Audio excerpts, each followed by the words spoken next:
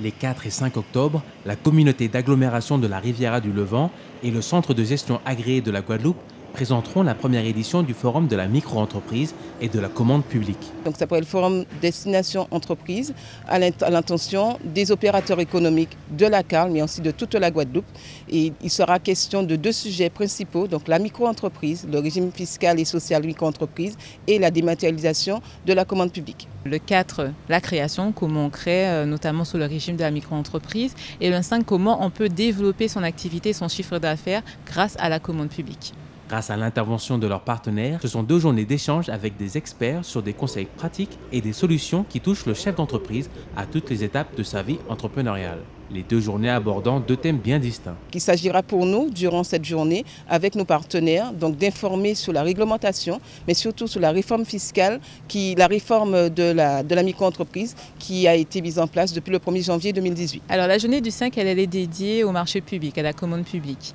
C'est vrai que ce forum a vocation à informer les opérateurs économiques sur la réforme de 2016 sur les marchés publics et tous les outils que le législateur a mis en place pour faciliter l'accès des opérateurs économiques, notamment les TPE et les PME à la commande publique, mais également sensibiliser toutes les entreprises à la dématérialisation de la commande publique obligatoire depuis hier, depuis le 1er octobre 2018.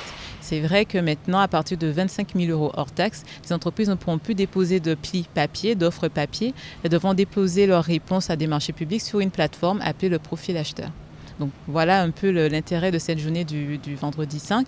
Et il y a un troisième objectif à préciser, c'est vrai, euh, c'est que la CARL veut faire de ce forum un lieu de rencontre, d'échange et de, partage de bonnes pratiques entre les opérateurs économiques et les acheteurs de la CARL, mais également les acheteurs d'autres collectivités de la Guadeloupe. Nous avons sollicité et nous accompagnent dans cette, aventure, dans ce rendez-vous économique, donc la collectivité régionale, le centre de gestion agréé qui est co-organisateur de ce forum, les chambres consulaires, à savoir chambre de commerce et industrie des îles de Guadeloupe, la Chambre des métiers de l'artisanat, le Pôle emploi, les initiatives Guadeloupe, la DIE et bien sûr euh, d'autres partenaires que sont la CGSS et euh, la DRFIP. Nous, à la CARL, on a, euh, on a pris l'habitude d'informer les opérateurs économiques avec des outils, avec des réunions de sourcing, de sourchat, en fait des réunions entre les acheteurs, les acheteurs de la CARL et les opérateurs économiques.